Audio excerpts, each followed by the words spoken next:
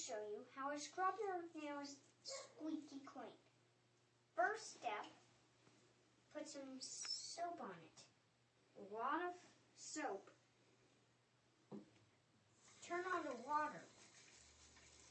Put your hand under water and scrub on it.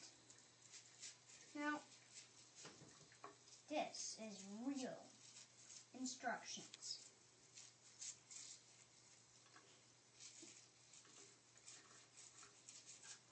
Ooh, that's very clean. Can you show me how clean it is? Uh. Um, okay. Ooh, one nail. No soap in there.